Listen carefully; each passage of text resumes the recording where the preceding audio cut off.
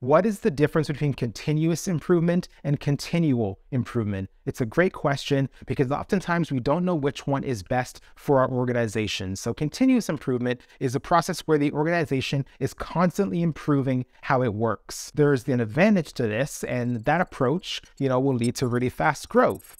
But there's one really big disadvantage, and that is that your organization then doesn't spend enough time stabilizing its processes before moving to improve the next set of processes. So this can ultimately lead to a downfall in your organization or your processes and really just add more confusion. So an example of continuous improvement would be for, you know, a software development team that continuously releases new features without taking the time to fix bugs and stabilize the current version. So this can sure lead to fast growth as users are excited about new features, but eventually the accumulation of all these bugs and issues may cause the downfall of the software and ultimately leave your team feeling confused, working overtime, and dissatisfying your customers. But in the case of continual improvement, this is where your organization experiences growth for a certain period of time before stabilizing itself at that level. It then continues to grow, then you stabilize again, you grow a little bit, you stabilize again, and this just repeats in a cycle ongoing. So, what's great is that this recurring process allows your organization to undergo steady and streamlined growth